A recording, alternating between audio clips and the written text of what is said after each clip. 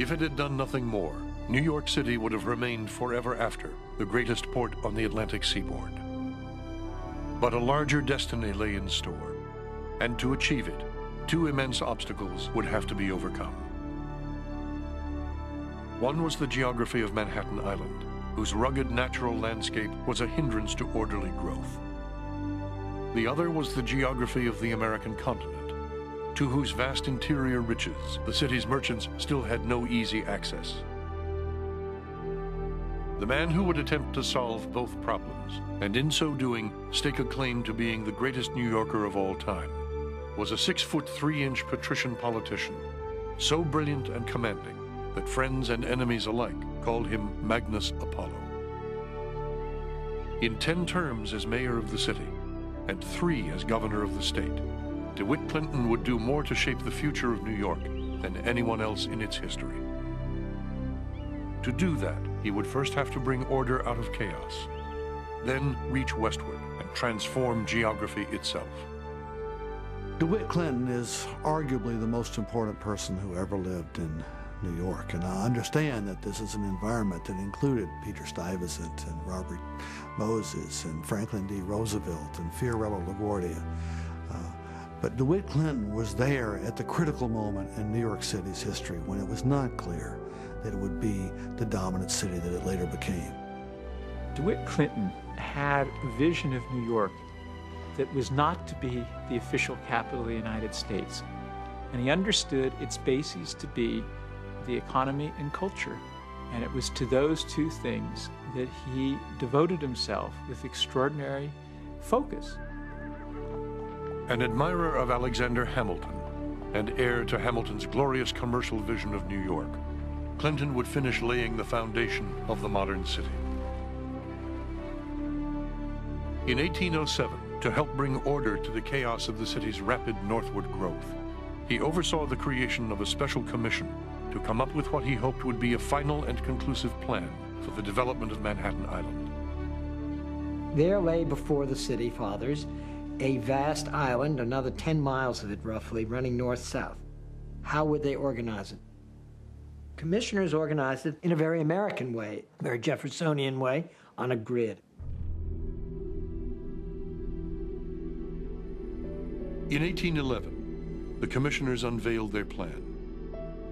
On a giant map, more than eight feet long, they had projected an astonishing vision of the future that would shape the destiny of Manhattan for centuries to come. The grid is the most courageous act of prediction in Western civilization. The land it divides, unoccupied. The population it describes, conjectural the buildings it locates phantoms. Rem Koolhaas. At a time when New York City was still huddled at the southern tip of Manhattan, Clinton's commissioners proposed leveling the entire natural geography of the island and replacing it with a single massive grid, 12 avenues wide and 155 streets long, covering 11,000 acres with more than 2,000 blocks. There had been grid plans before, but never on this scale. At a time when the city held fewer than 100,000 people, the plan envisioned a giant metropolis of more than a million. If realized, it would transform Manhattan into the most populous city on Earth.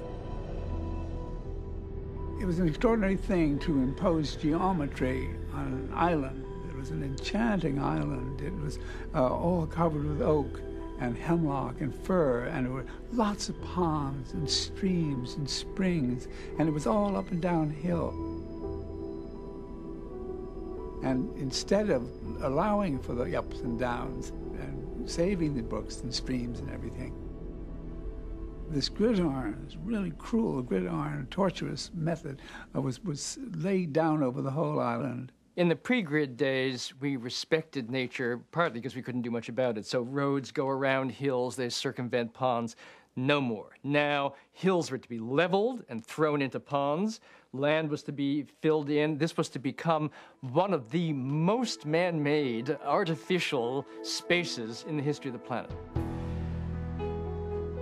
Inscribed within the grid was an extraordinary vision of what New Yorkers wanted their city to be. One, imperial. There's a sense of expansion northward, the numbers run up. Two, democratic, because the streets are going to be numbered, they're not going to be named. Three, efficient. It makes it easy for immigrants, people who don't speak English, to navigate their way around to their workplace and to selling places. Four, a sense of routinizing and regularizing the real estate market because everything is gridded up in advance so that you can buy and sell plots easily with great convenience. Perhaps the most extraordinary is the conviction that you are going to totally triumph over nature. And the notion that you can, in fact, shape, reshape, reformulate things is, again, right near the bone of the New York idea. With its thousands of blocks, each more or less identical to every other, the grid envisioned a remarkably uniform and democratic city. And with its hundreds of streets leading down to the rivers, a relentlessly commercial one. The almost complete absence of park space in the commissioner's plan would haunt the city for decades to come. And you know, the grid is often attacked. People say that it's capitalist speculation or that it's an unlovely form, you know. They say that it's, uh, it's monotonous, it's totalitarian. I don't think anybody who's ever been in the New York grid, if he's honest with himself, experiences it as totalitarian. Too much is happening. It's too interesting. Um, so this is a kind of intellectual idea, a judgment that is overlaid onto it after the fact. So what you have in the grid is a, a powerful underorder in a city where there is so much anarchy. And you can stand on any cross street and you can see the river on either side. And also the breeze comes through and you get the sun rising on one side and the sun setting on the other side. It's also quite nice, the big, long, straight avenues that run north-south, which Jean-Paul Sartre admired. He loved these big, straight avenues in which you could see the light always. And they seem somehow, in a way, a representation of American limitlessness, geographic limitlessness. It's hard to imagine, unless you really set your mind to it, that it was ever anything else. It's almost as if Manhattan had been a city since antiquity, that somehow the Indian tribes that lived here had put down pavement. That great plan indicated to people who had no intention of stopping. They're going to go right up to the top of uh, the island, to the Harlem River, and uh, go on from there. It was part of an optimism uh, that was real, and it was an optimism that was self-fulfilling. Uh, you lay out a street plan like that, and the next thing you know, someone bought a corner lot. And um, the transportation followed it. Uh, it wasn't long before you had uh, horse-drawn uh, trolleys. The Commissioner's Plan of 1811 was one of the most far-sighted urban visions ever conceived. And yet its audacity was nothing compared to that of another proposal DeWitt Clinton put forward that same year. Not an eight-foot map, but a 363 mile long ditch that, if completed, would transform forever New York's relation to the entire American continent. When you think of the United States in 1800, it's really a country that's huddled along the East Coast. Movement to the interior of the North American continent is blocked by what we no longer think is the substantial mountain chains, the Appalachians, the Alleghenies. But from the perspective of 1800, they were impressive indeed. There were no blasted highways through there. There were no railroads through there. There were no rivers that took you easily through there. You had to walk up those mountains and walk down them and then up another one and down. So they were a formidable barrier. And what we had to do, both in New York and in the nation, is to figure out a way to get inside the continent. For years, New York merchants had been dreaming of the immense wealth locked in the continent's interior. In 1811, DeWitt Clinton came up with a way of getting at it. If nature had provided them no river to the west, New Yorkers would simply have to build one. When one looks at a map of the United States and one looks at the Mississippi River, one cannot but assume that the greatest city in the New World is going to be where New Orleans is. That here's one of the greatest river systems in the world. But it didn't happen that way. And it didn't happen that way because New Yorkers took the geographical advantage they had and got access to that uh, agricultural hinterland that seemed to belong to New Orleans. The only gap in the chain of mountains running from New Hampshire to Georgia is providentially located in New York State.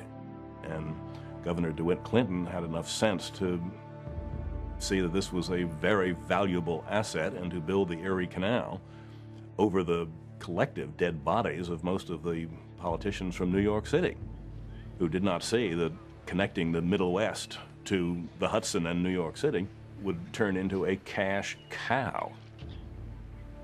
The scope of the project was nothing less than mind-boggling.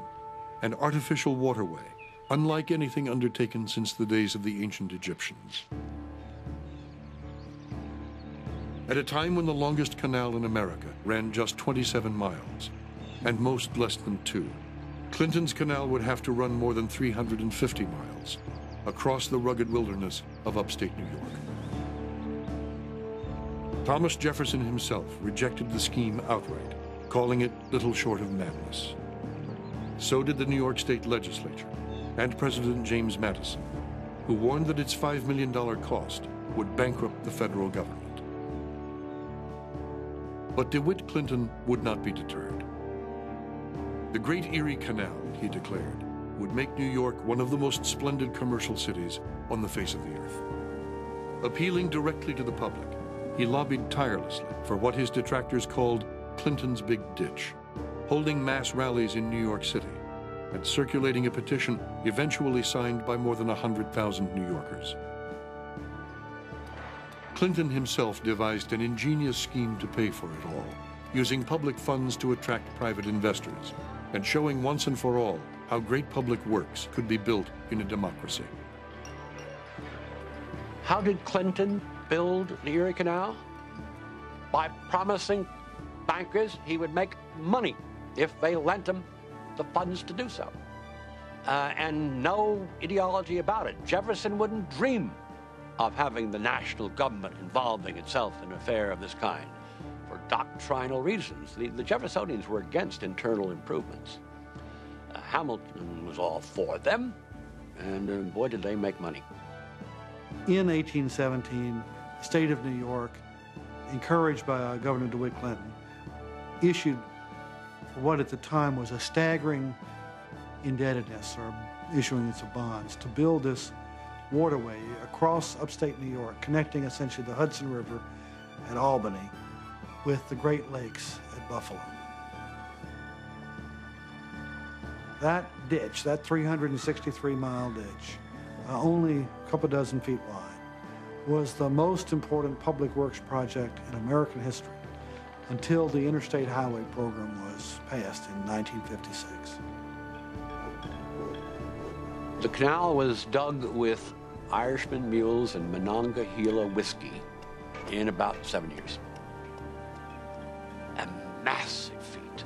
And, and you cross the canal, now still there, uh, now clean because Lake Erie is clean. And uh, you go along, about every 15 miles you come to a town where something extraordinary in manufacturing commercial history began. It was one of the few public works projects in New York that didn't have a cost overrun, was finished on schedule. In fact, it paid for itself by being partially open before it was fully completed. On October 26, 1825, three full years ahead of schedule, the mammoth undertaking was complete. The Great Erie Canal, one observer said, has defied nature and used it like a toy. With 83 locks and 18 aqueducts, including an 800-foot water bridge over the Genesee River, it was the greatest engineering feat of its day. It had also worked nothing less than an economic miracle. It had once cost more to ship a ton of goods 30 miles inland than all the way to England. And taken more than three weeks to move a ton of wheat from Buffalo to New York. Now, it took just seven days, and the cost had been cut from $100 to less than six. At the opening celebrations, DeWitt Clinton, the undisputed hero of the day, poured a keg of water drawn from Lake Erie into New York Harbor. The symbolism was lost on no one. All America now met.